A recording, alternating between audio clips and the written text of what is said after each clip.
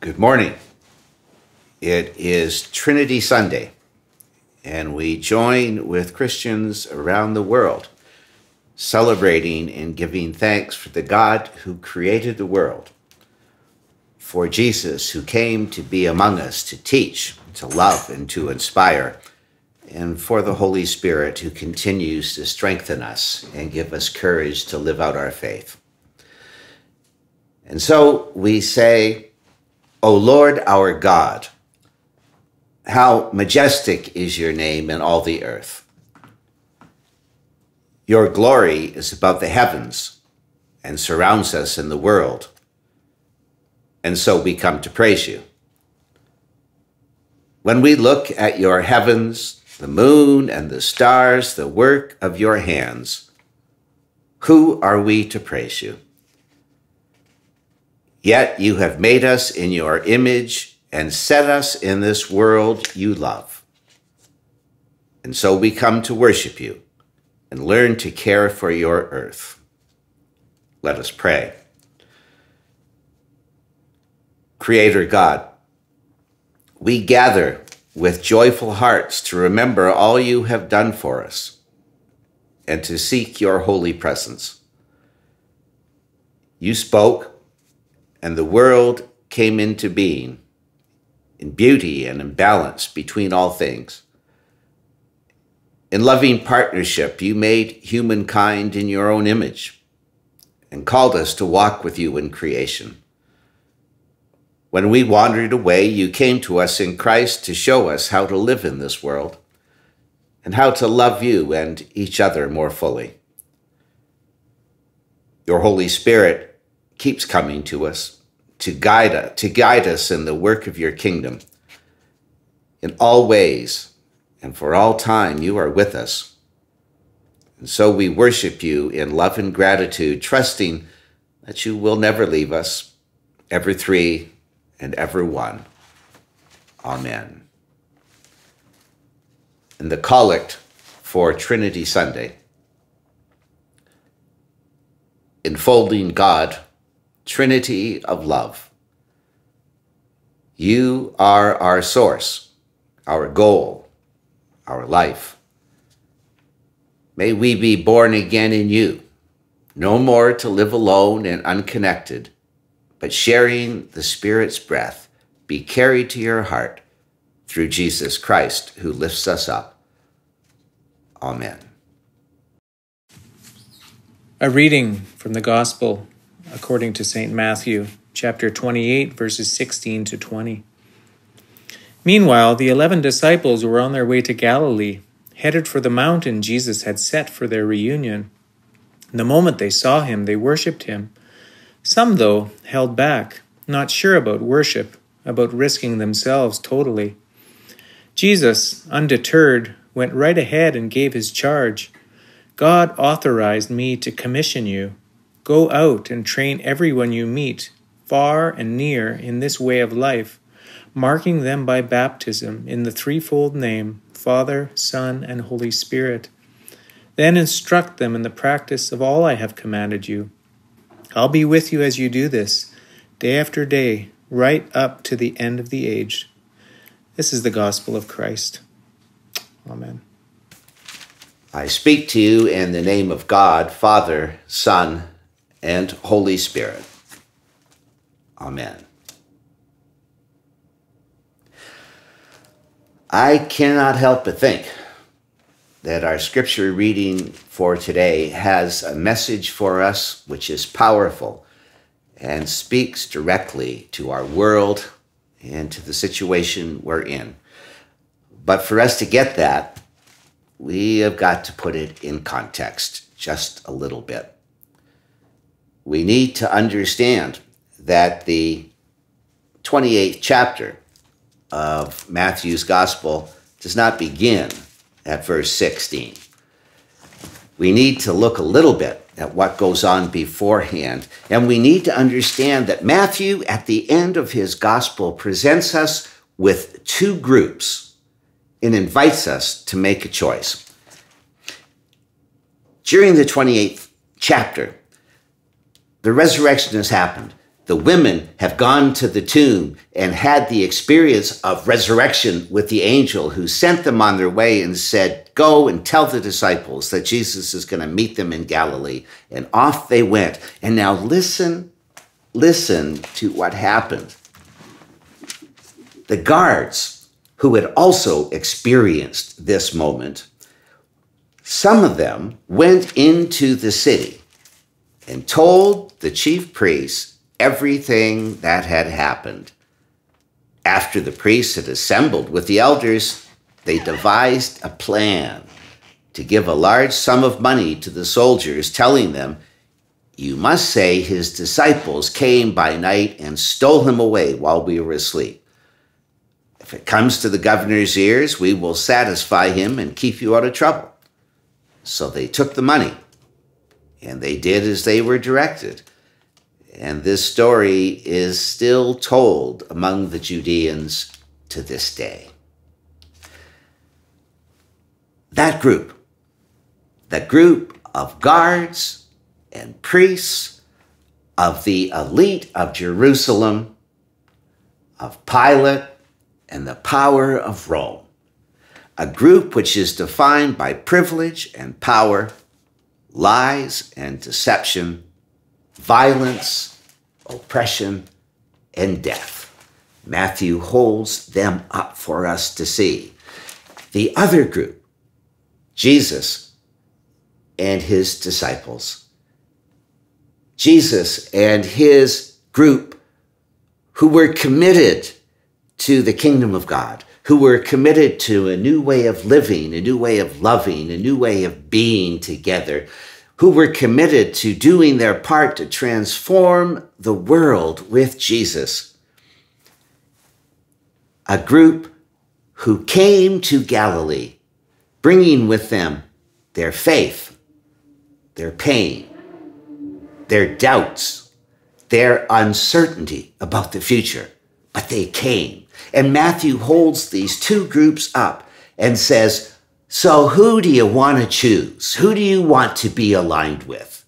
Make a choice the kingdom of God, the kingdom of Caesar, heaven or the empire, light or darkness, life or death. You choose and choose now. Now, to help in, in, in making that choice, we need to understand that, that Matthew's gospel, from beginning to the end, is filled with teaching about the kingdom of God and what it looks like, how you live into it, how you realize it. And, and the culmination of all of that teaching about the kingdom came in chapter 25. And we, we heard these words, you know them well. When the Son of Man comes in his glory and all the angels with him, then he will sit on the throne of his glory all of the nations. And, and, that doesn't mean countries and flags. It means all races, all faces, all colors, all origin, because we're all God's children. All the nations will be gathered before him. He will separate people one from the other as a shepherd separates the sheep from the goats. And he will say, Come, you that are blessed by my Father, inherit the kingdom prepared for you from the foundation of the world. And listen to this For I was hungry, and you gave me food. I was thirsty, and you gave me something to drink. I was a stranger, and you welcomed me. I was naked, and you gave me clothing. I was sick, and you took care of me. I was in prison, and you visited me. At the end of the day, the question is, so, how did the nations, how did the races do with the hungry, the thirsty, the stranger, the naked, the sick, and those in prison? How did they do relating to the victims of our society? And there's more. There's more. We have to understand and remember that this, that this story that we get in our gospel today takes place on a mountain and you need to understand that in, in Matthew, the mountain could be described as a thin place, a place where time and eternity, where heaven and earth brush up against one another. For Matthew, the mountain is the place where God is present. The mountain is the place where Jesus fully enters into his identity as Son of Man and Son of God. In Matthew, the mountain, it's always about a charged moment, a defining moment, a kairos moment. It is always about a moment of holy possibility. So Jesus is on the mountain, this place of holy possibility, this place where God is present.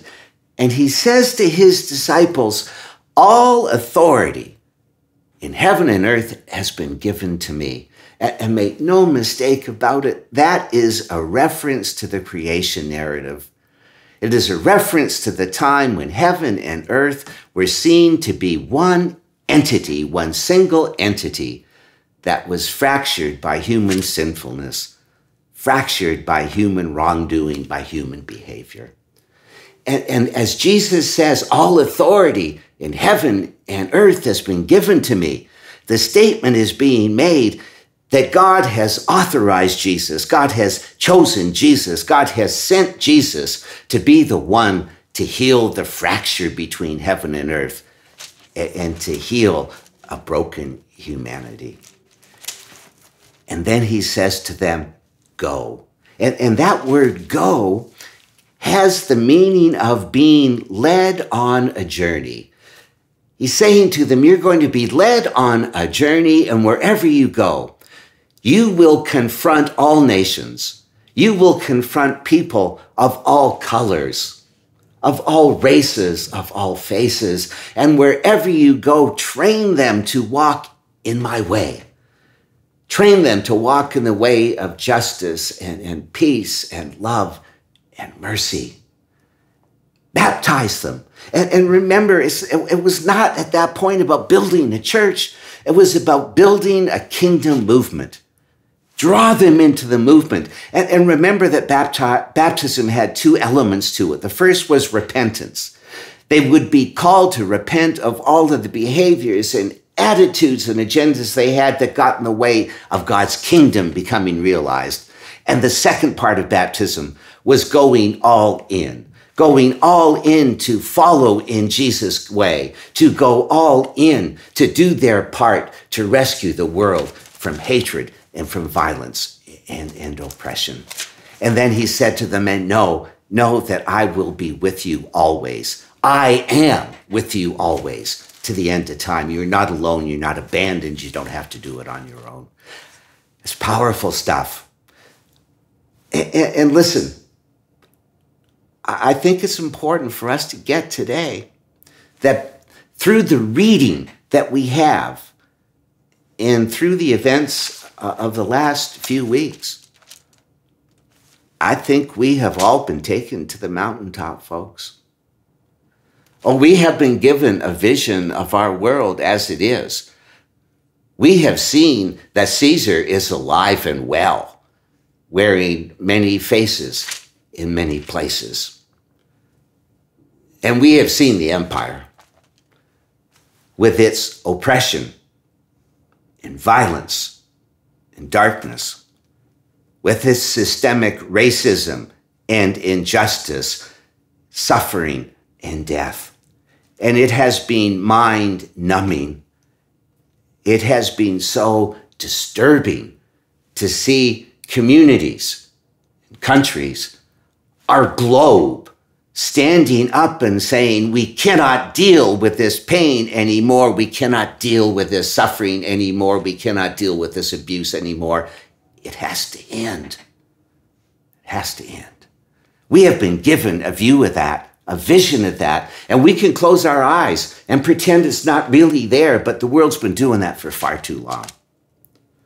But listen, we've been taken to the mountaintop, and, and the mountaintop is a place of holy possibility. Because we have also been given a vision of our world as it could be. We've been given a vision by our scriptures of a world in which there's room in the choir for all of God's children.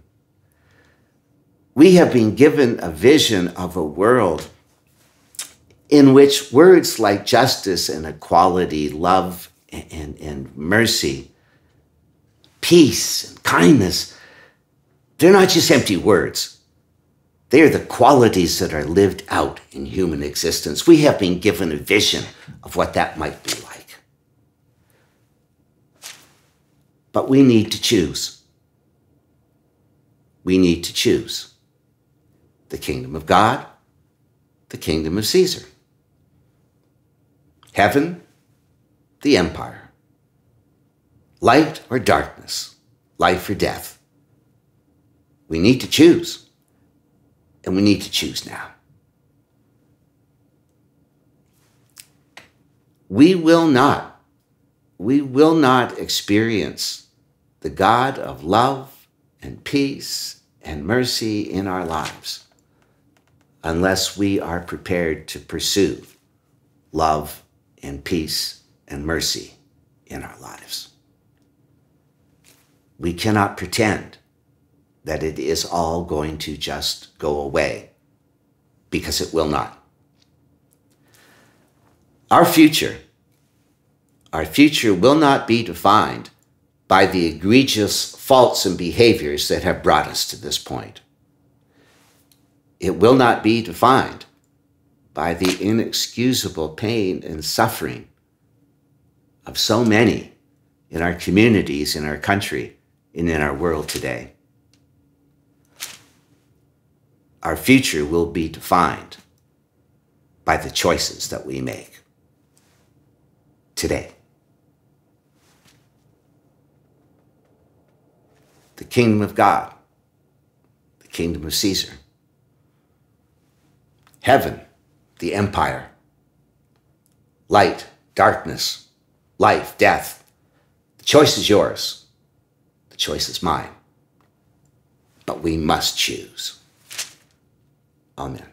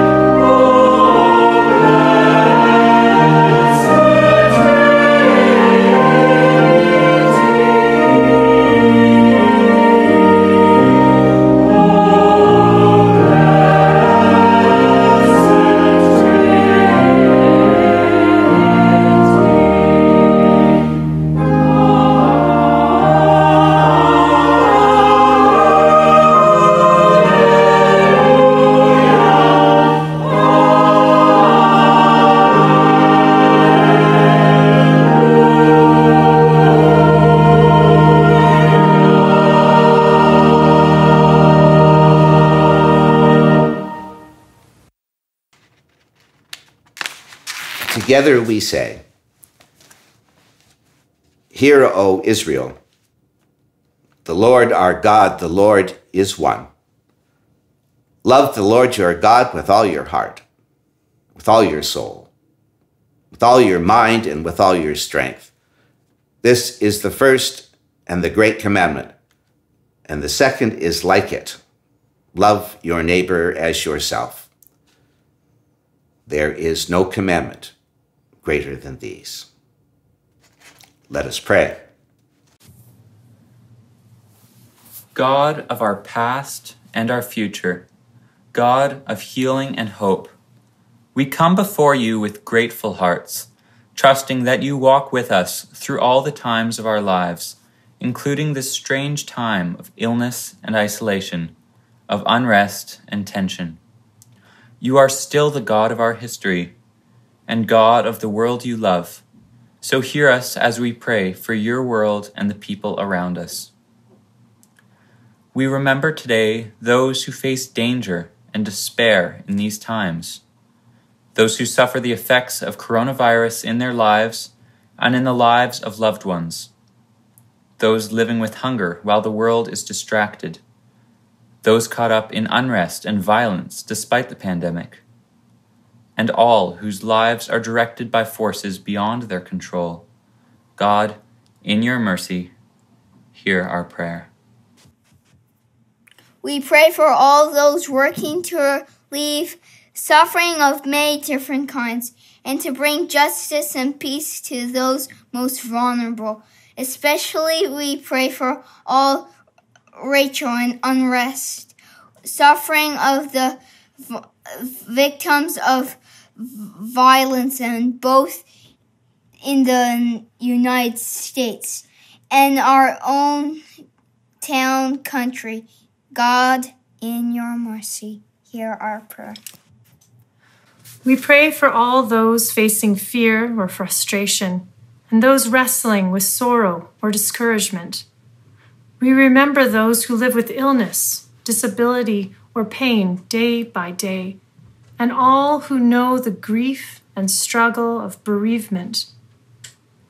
We pray for all those who work to bring healing and comfort to those who suffer, remembering those who put their own health and life at risk during the pandemic. God, in your mercy, hear our prayer. We pray for all who feel helpless or hopeless in this present time of such uncertainty for those facing unemployment or struggling to make ends meet, for those caught up in misunderstanding or broken relationships, and for those working through situations of conflict at home or at work. We pray for all who offer guidance and support in the midst of such difficulties. God, in your mercy, hear our prayer. God of our past and our future, God of healing and hope, hold us together in the days ahead and remind us of our common faith in Christ. Help us learn from the challenges we are going through to find new ways of living out our faith and new ways of being in community. Support all of your children in their efforts to engage in questions and choices with respect and faithfulness, trusting that you can do new things for us and with us. Keep us loving and gracious in the example of Jesus, our Lord and friend. God, in your mercy, hear our prayer.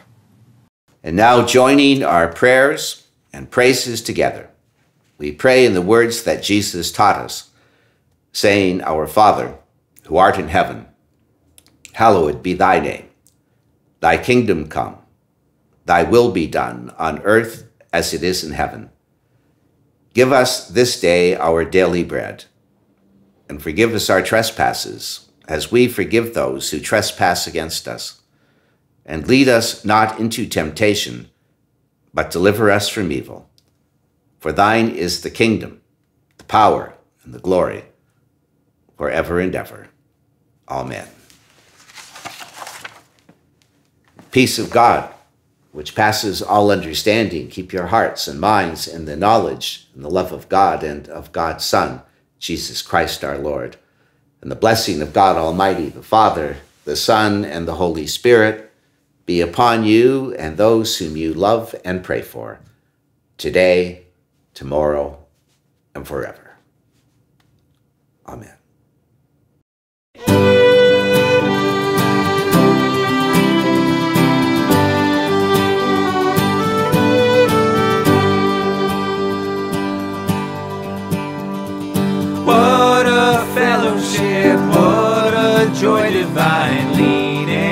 On the everlasting arms. What a blessedness, what a